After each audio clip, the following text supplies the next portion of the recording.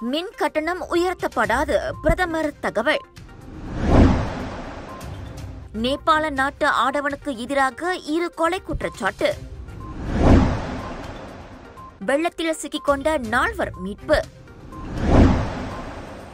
உலக செல்வந்தர்கள் பட்டியலின் முதலிடத்தை பறிகொடுத்தார் இலான் மஸ்க்.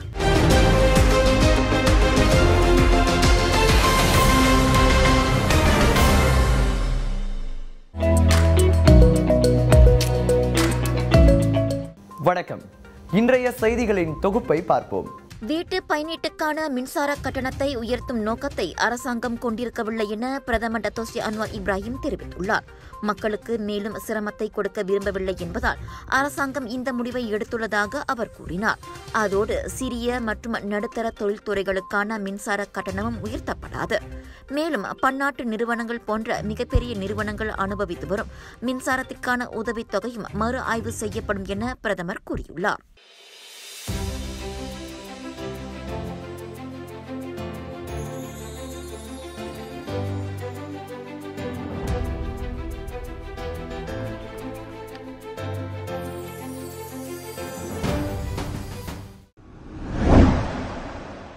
அம்னோவின் முன்னாள் உறுப்பினரும் பிகேஆர் கட்சியின் முன்னாள் தலைவருமான எசாம் மொஹமட் பிஆர்எம் கட்சியின் துணைத் தலைவராக நியமிக்கப்பட்டுள்ளார்.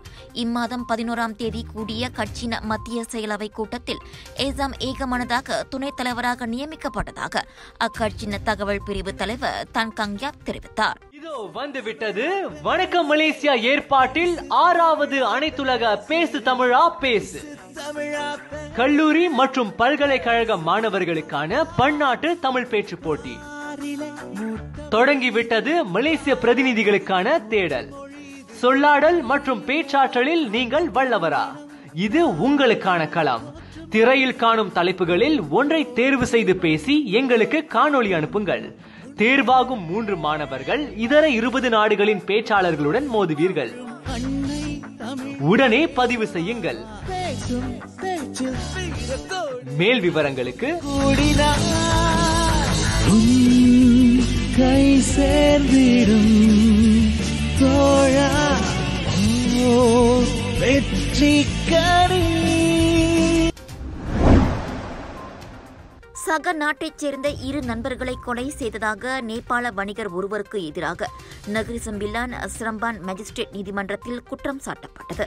தமக்கு எதிரான குற்றச்சாட்டு வாசிக்கப்பட்ட போது அது புரிவதாக முப்பத்தி ஏழு வயது தாக்கூர் பிரசாத் என்னும் அந்நபர் தலையசைத்தார்.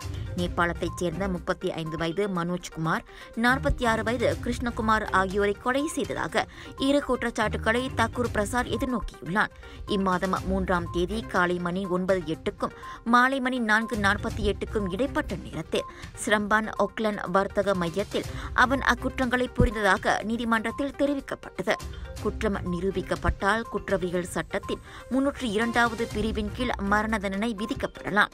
முன்னதாக தொழிலாளர்கள் உணவருந்தும் பகுதியாக மாற்றியமைக்கப்பட்ட கட்டிடத்தில் இரு நேபாள நாட்டவர்கள் முகத்தில் காயத்துடன் இறந்து கிடக்க காணப்பட்டதாக ஊடகங்களில் செய்தி வெளியிடப்பட்டிருந்தது குறிப்பிடத்தக்கது.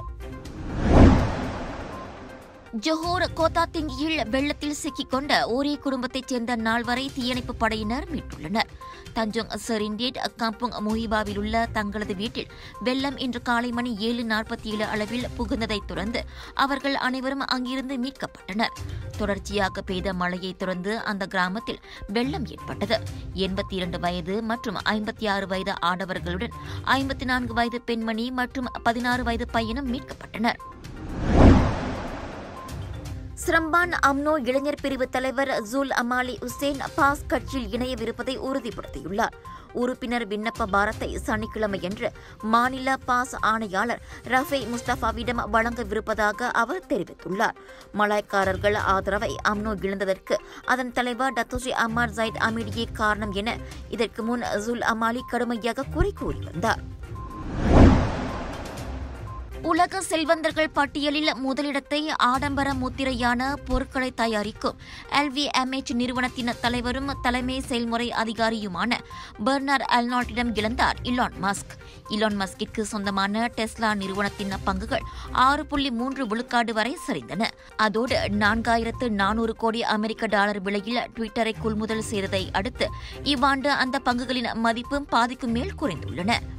மஸ்கின் செல்வ நிலை பெரும்பாலும் டெஸ்லா பங்குகளை கொண்டே அளவிடப்படுகிறது. ஃபாபிஸ் வெளியிட்டுள்ள தகவலின்படி அர்னால்ட் மொத்தம் ஒரு லட்சத்து எண்பத்தி ஆறாயிரத்து இருநூறு ஆயிரம் கோடி அமெரிக்க டாலர் மதிப்பிலான சொத்துக்களை கொண்டுள்ளார். மேலும் பல அண்மைய செய்திகளுக்கு வணக்கம் மலேசியாவோடு இணைந்திருங்கள். எங்கும் எப்போதும் வணக்கம் மலேசியா. நான் கிஷேந்திரன் முனியாண்டி.